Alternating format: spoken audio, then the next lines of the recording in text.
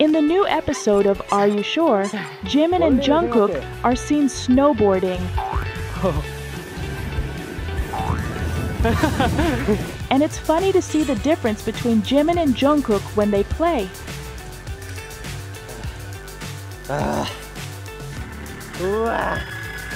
Previously, Jungkook mentioned that he had only snowboarded once and he was very amazed by it. Could he be referring to the moment with Taehyung and the Wooga squad that Jungkook has mentioned before? In fact, Jungkook and the Wooga squad are often known to hang out together.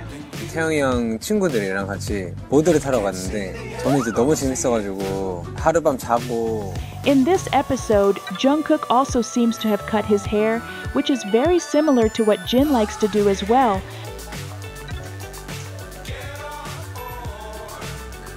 Not only that, it's funny to see the contrast between Jungkook's bowl cut and his muscular body covered in tattoos. The same goes for Jimin. He looks very masculine but also cute when wearing his snowboarding helmet. Plus, Jungkook snowboarding looked like a scene straight out of a K-drama. He's so attractive.